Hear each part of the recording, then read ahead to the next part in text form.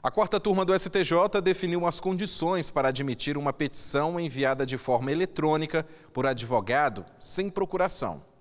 A quarta turma do STJ definiu as condições para admitir uma petição enviada de forma eletrônica por advogado sem procuração.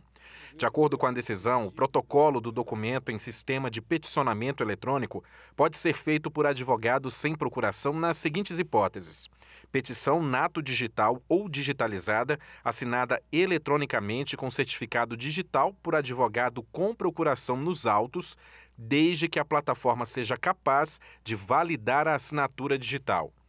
documento digitalizado que reproduza petição impressa e assinada manualmente por advogado devidamente constituído no processo. Com a decisão, o colegiado afastou a incidência da súmula 115 do STJ, em caso no qual a petição de recurso foi impressa, assinada pelo advogado constituído no processo e depois de digitalizada, juntada aos autos por outro advogado sem procuração.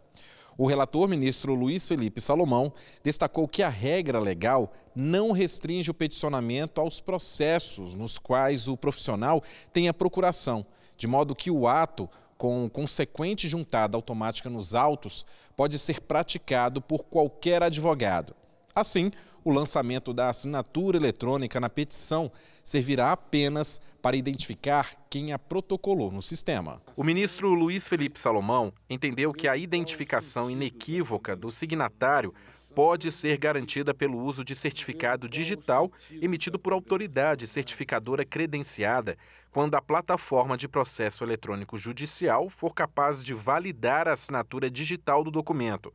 ou pela assinatura de punho lançada no documento original, o qual poderá ser consultado se houver alegação motivada e fundamentada de adulteração.